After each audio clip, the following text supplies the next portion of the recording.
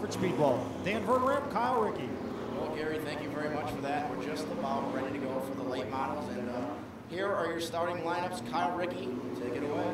On the pole, car number six for Larry Goss. Goss from North Windham. He'll lead the 15 car field to the green flag. To his outside on the front row, car number 32, hailing from Lisbon, that is Paul Hurd. Two rows back, starting third, it's number 28. Say hello to Jay Lozniak. Right beside him, starting fourth, the number seven is Eddie Field. The 17 goes next in line from West Haven. The 17 to the inside of that third row for Wayne Corey. To his outside car, number five for Carl Eriksson from Deep River. Mark St. Hilaire in the USS Chowder Pod entry starts seventh and the number three. And right beside him, he won the heat race and he won the race, excuse me, race last week. Number 90 needs no introduction, Alan Coates. Nine starter, the driver of car number nine. From Waterford, that is Chris Moose Dowden. And his outside, the 67 car. From Uncasville, that is Brandon Plemons. Starting 11th, it's the number eight car, that is Tom Metcalf. And right beside him, starting 12th, number two, Dwayne Knoll. 13 starter, car number 19 from Portland for Chandler Eccles. And his outside, it's the 73 from Ashaway, Rhode Island, Fort Joe Perry. And rounding out the field, Kyle, that is the number 35 out of Groton, Connecticut. Say hello, ladies and gentlemen, it's Bruce Thomas Jr. So there you go, and now Matt Buckler will step in. Take it away, guys. 30 laps the distance for the Bob Valente Automall late models here tonight. Of course, Alan Coates, the winner a week ago. Mark St. Hilaire, Bruce Thomas Jr., Carl Eriksson, and Wayne Corey, the top five in last week's 30 lap main event as we go. The tradition of the Waterford late models. Here is another segment. Larry Goss at the start gets a huge jump over Paul Hurd. Likewise for Lozniak over Ed Field. And also caught in fifth place is Wayne Corey as they thunder their way into turn three. Yeah, that front row got into single file pretty quick. Everybody double wide from third on back. Lozniak gets the third spot down the stripe. And to the inside, Corey for fourth. Top four go nose to tail behind Larry Goss in turn two. Ed Field came very close to scraping the guardrail on the front straightaway. We will see what happens this time around. The 90 of Coates quickly leaving contention. Now he is trying to sizzle his way around the three of Mark St. Hilaire. St. Hilaire battled for that fifth position. One car backsliding pretty quick. Carl Eriksson right now mid-pack. He was caught in the outside lane, lost about four or five spots. Gets in the line as the battle for second among five cars go back to turn number one with Lozniak in that position. Hurd got a little loose coming into turn four. He gave the real estate to Lozniak, and he just gobbled it up to move into third. And here comes Wayne Corey. Power move into third place. Mark St. Hilaire is in fourth, and Paul Hurd is trapped in no man's land on the outside group. Oh, trouble just ahead of them. The battle for second got a little too close and stacks the field up on the back straightaway. Paul Hurd, among others, involved in the incident off of turn number two. Everything's been cleaned up. We're ready to go back to green. Larry Goss to lead him around. To his outside, Wayne Corey Jr. Off of turn four, green flag is up with 26 laps to go. The battle is for second. Alan Coates in the 90, Corey in the outside. And Corey, does he have the stamina to stay even with Alan Coates? Going to be tough to do with Alan Coates to the bottom. He's been the driver to beat all season thus far. A feature in a heat race, and Coates goes right to the bottom to the inside of Larry Goss. Little contact and paint traded over in turn number two, but a new race leader Alan Coates trouble behind him though. The race for second gets together. One car launched into the air. And we'll go under caution again. Right now on the front row. Let's see if Moose Dowden. Remember, that car took a very tough landing. Let's see yeah. how much uh, energy it has on this restart. Green flag's up. We're back underway. Dowden in the outside lane to the inside. Alan Coates as they go double wide to turn number two. And here comes Eriksson to the inside to challenge for the second spot. They go nose to nose in turn three. The inside appears to be the way to go. Getting some bite is Eriksson, and he is close enough to change the stations on Coates' radio as they head down the backstretch. And for the first time this season, Alan Coates is challenged for the lead over in turn number three. Carl Eriksson to the inside. Coates shuffled up the speedway, and here comes the 17, or checked out the 35 to the inside for second. Coates back to third, maybe fourth by the time they get to the backstretch. And he needs to get to the bottom because he has been hung out to dry on the outside. So in this race so far, everybody having a difficult time negotiating the outside groove.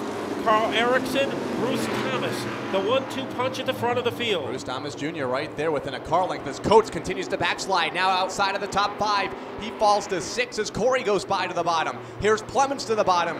Coates dropping like a rock as the battle for the lead continues down in turn number two between Eriksson and Thomas. You know, it was not a good sign, Kyle, when they came into turn four on the restart, and Alan Coates did not keep his car down low. He gave the five too much room, so obviously some problems with the 90 car of Alan Coates as he could not keep that car protecting the bottom the way he wanted to, and it left a cavity that uh, Carl Eriksson gladly took advantage of. Yeah, maybe a mechanical problem, maybe a tire going down on the uh, 90. We'll get Gary on top of uh, the Alan Coates situation as the race for the lead continues over in turn two. Eriksson and Thomas nose to tail through turn two and onto the back straightaway. Dowden alone in third, and a battle for fourth is a good one. Eddie Field and Dwayne Knoll, they go side by side for that position. A little contact between Field and Knoll, and Knoll was able to muscle his way into the number four position. Eddie Field continues to be right there, and Wayne Corey is not going to vanish into the night here at the bowl as he is hanging tough in sixth place. And Eddie Field gets shuffled up the banking over in turn number four. Knoll goes by, Corey goes by. Here comes Mark St. Hilaire to the bottom of the speedway in car number three. No change at the front. It continues to be Eriksson in the five car, the 35 car right there, Bruce Thomas Jr.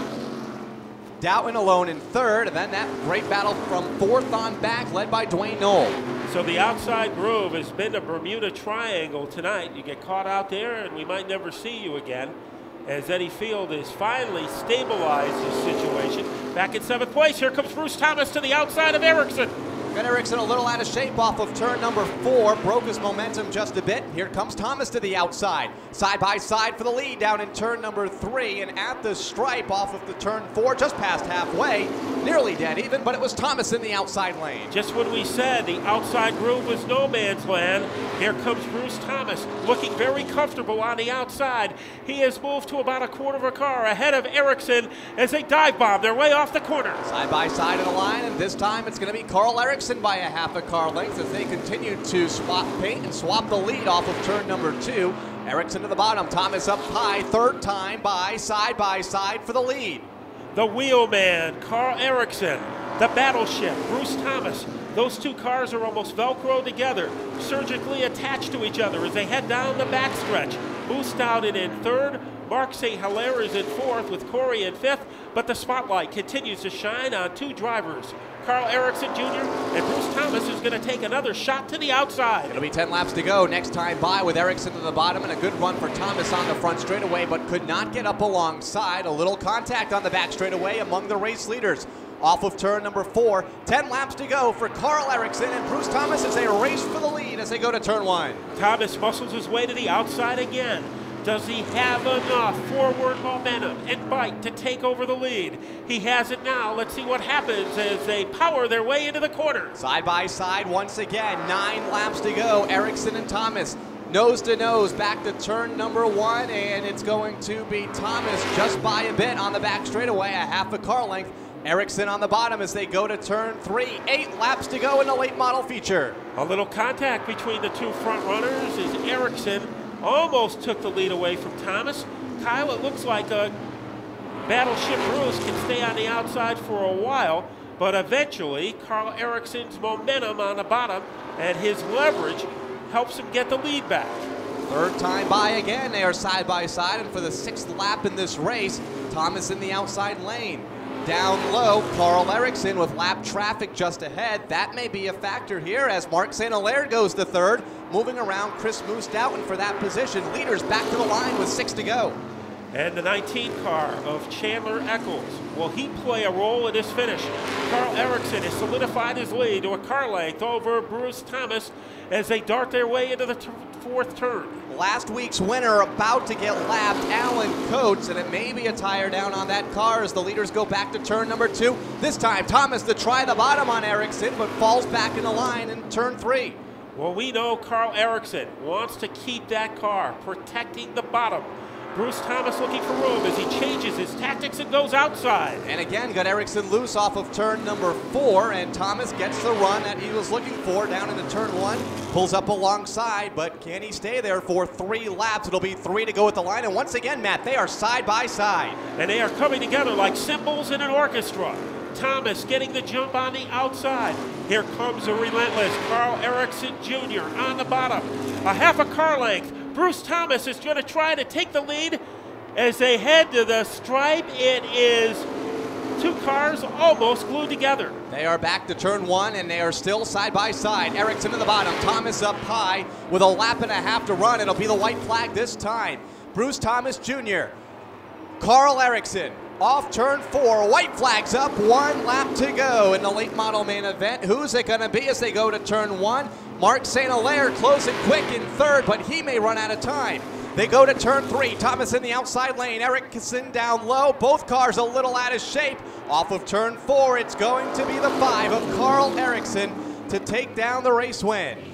Five of Carl Eriksson by a car length over the 35 of Bruce Thomas Jr. And the three was coming in a hurry for Mark St. Hilaire and was set to make it a three-way race for the win. If uh, we had another lap or two, he would have been right there in the thick of things. Side by side, lap after lap, the story of this late model man event. One feature still to run. The mini stocks are lined up and ready to go for the 20 lap nightcap as we go down trackside. And Matt Buckler with Carl Eriksson, our race winner. Well, Kyle, I don't think we could have had a more exciting race than the one we've just witnessed in the Bob Valente Automall late model division. And here is our winner, Carl Eriksson. Carl, lap after lap, you and Bruce Thomas battled. What was the difference between the two race cars down the final 10 laps of the race? Yeah, just uh, eight tires turned better than four. We were real tight and uh, probably ran Bruce a little rough, a little, little rougher than I'd like to, but uh, we did what we had to do to get the win. And you have to be happy that your first win came a lot earlier in the season this year than it did last year. Yeah, you know, this thing's been real fast in the heat of the day. We just can't figure it out at night. And uh, last week we got real loose, and tonight we got real. we'll take it. Well, the wheel man tonight was the wheel deal here at the Speed Bowl. Carl Eriksson Jr., one final comment. Yeah, I just got to thank all the crew and Jeff and Glenn. The, the motor in this thing's awesome. And our new sponsor, East Rock Septic, Greg, Greg Novak. And, uh, you know, they just all stepped on board this year and really gave us what we needed. So this is going to be a good year, I think. Well, what we needed tonight was a great race, and we got one from the Bob Valente Automalls because of this man, Carl Eriksson Jr.